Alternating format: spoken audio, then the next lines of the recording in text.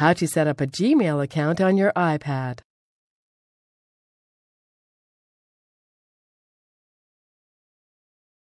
This tutorial will show you how to set up a Gmail account on your iPad. First, locate and press the Settings icon. It may be on a different screen or in a different location than shown here.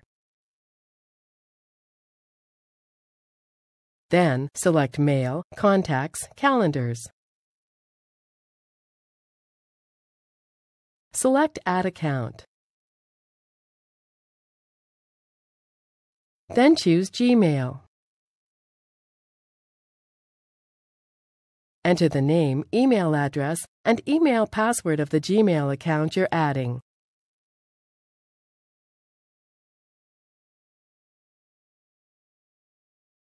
A description will automatically appear, but you can change it if you like. When finished, press Next.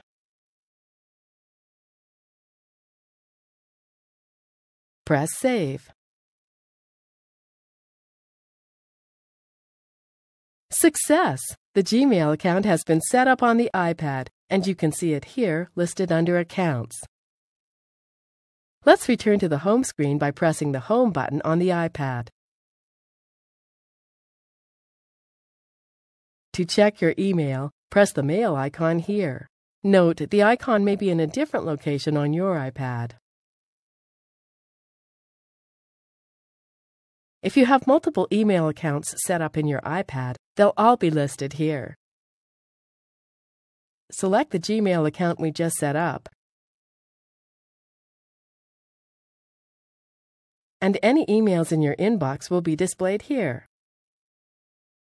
Click an email header to see the email.